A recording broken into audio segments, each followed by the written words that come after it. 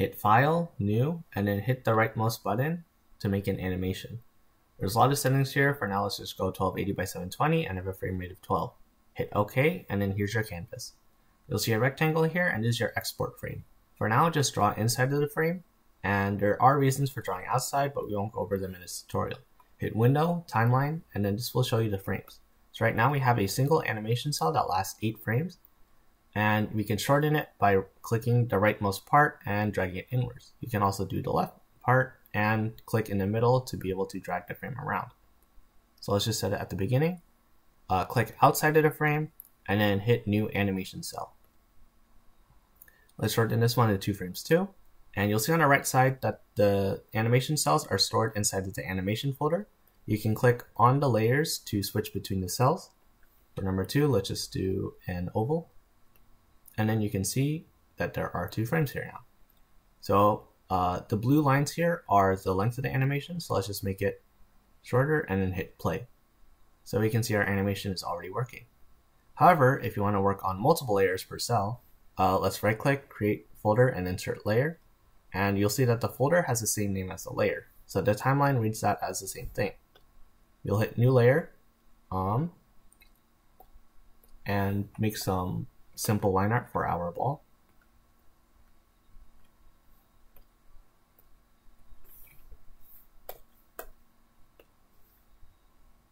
and then do the same thing for layer 2.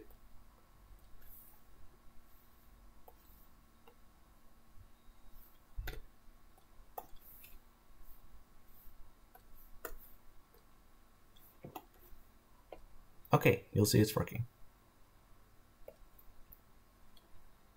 Uh, we'll make one more cel, and you'll see that on the right over here, it already automatically made it into a folder. That's because it automatically gets the information from the last frames and then uses that over here. We'll click this double square icon and that'll show onion skin so we can see the previous frames and be able to animate based off that. Let's just make a diagonal oval. And you can see the animation is working.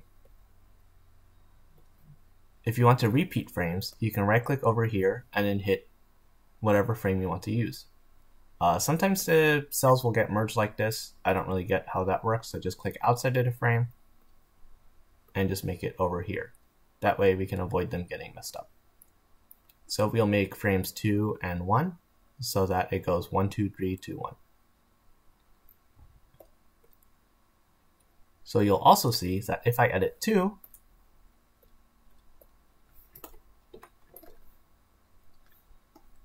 then it will edit it on every single instance of 2 in the timeline. And that's the gist. Hit File, Export Animation, and then Movie if you want to export it as an animation. And you can also export as image sequence if you want separate PNGs for every single frame. Or animated GIF if you just want a GIF. Oh, and if you want a separate animated element, all you have to do is make a new animation folder. So for example, let's say I want a moving background. Let's put that underneath the ball. And then this will last only two frames.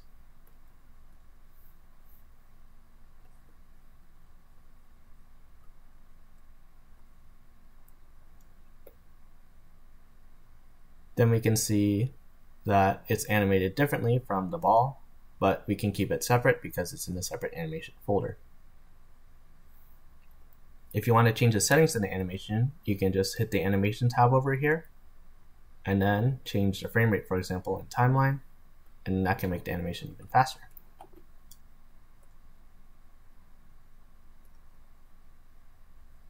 Alright, that's the basics for making an animation in Clip Studio Paint Pro.